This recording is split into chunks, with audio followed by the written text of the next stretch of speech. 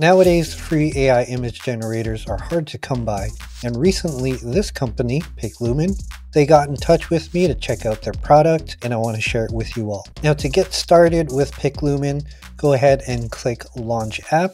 You'll be asked to log in via Google or Apple account or via email. Once you sign up, you'll be directed to the Explore page where you can sift through these images, get some inspiration, if you click on the images here, you'll see the prompt and all the pertinent information. Now, before you do start to create, I do want to point out, currently it supports these various languages. You have your FAQs here. There's some tutorial documentation, dark and light mode. And if you click on the three dots here, I want you to go into your settings. And here's where you can set your image visibility, public or private. And this option will clear your prompt after generation, so I set it to no. One other thing to point out, if you hover over the three dots again, click on Usage Dashboard, it'll tell you how many generations you've had today and your total generations. Now to create images, just go to the left menu, click on Create,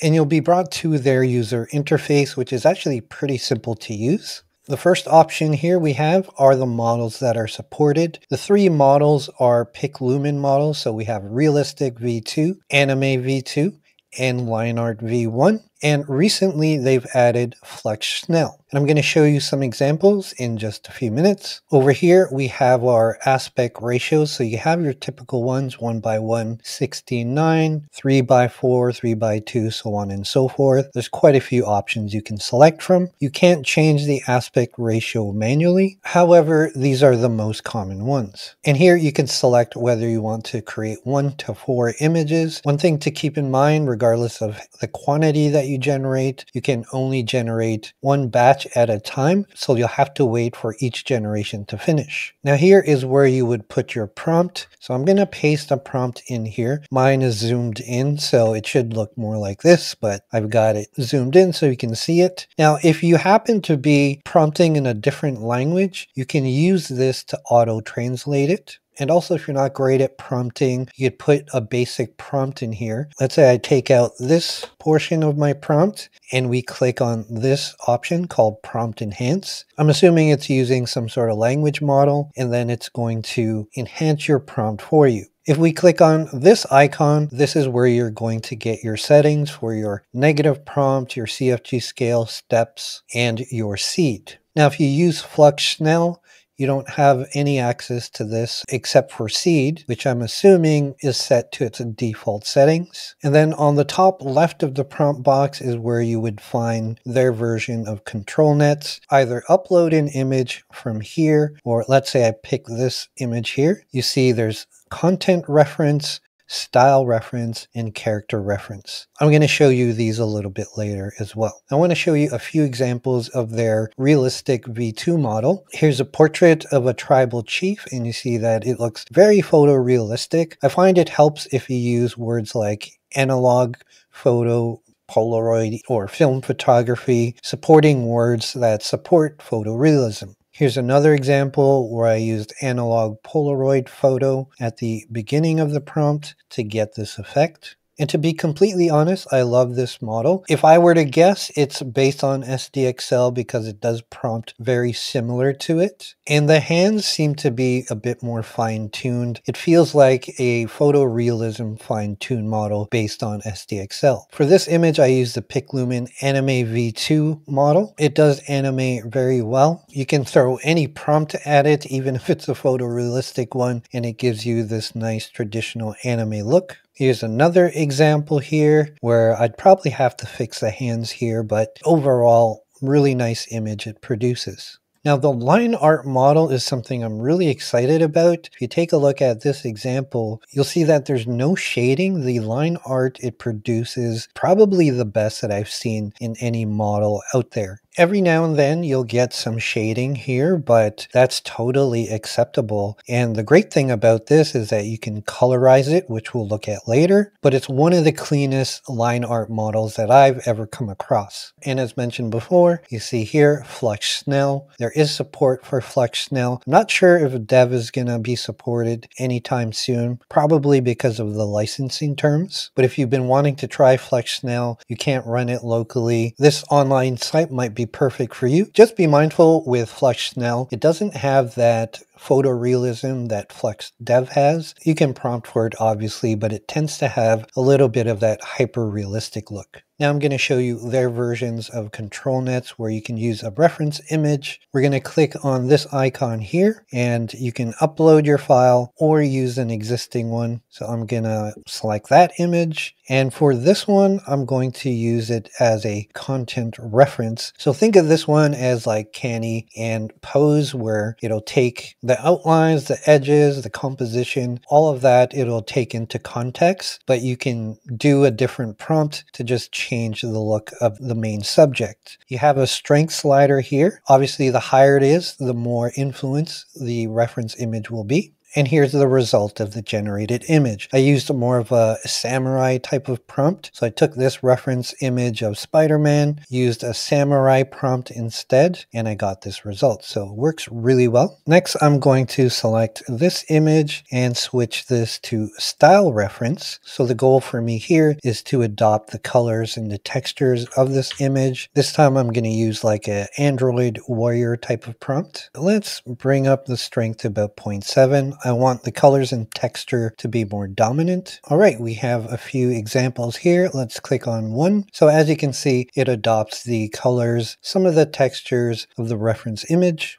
especially in the background here. So if we wanted more of the reference image to come through, we can increase the strength even more. And then the last reference control they have, I'm going to select this image, is the character reference. Now, this is a great way to get consistent faces. Let's say you have a reference image of a character that you want to use. You can bring this all the way up to 1 if you want the likeness to be exact. If we look at the generated images that I did, the faces look exactly identical. Now you won't get consistent attire, that's still going to change, but at least you can get consistent faces using character reference. Now, just a quick note, you can't use the reference function with Flux Schnell, at least at the time of recording this video. It only works with the PicLumen models. There are quite a few other options available. If you hover over the image, you see here, if you click on this, there's an upscale option here. You can go from 1.25 up to two times bigger. And the redraw option here is if you want to fix faces and hands, default is at 0.3. I find the default works pretty well. You can try to increase it, but you want to be careful not to go too high